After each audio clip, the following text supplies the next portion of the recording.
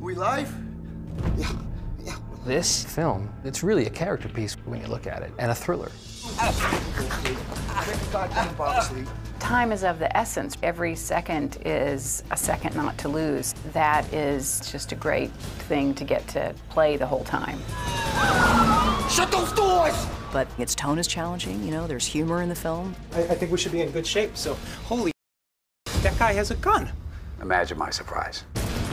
There's cynicism of looking at our social, political world today. I'm telling you, it's rigged. It's a little like those 70s folk hero films. But this movie is a massive jigsaw puzzle.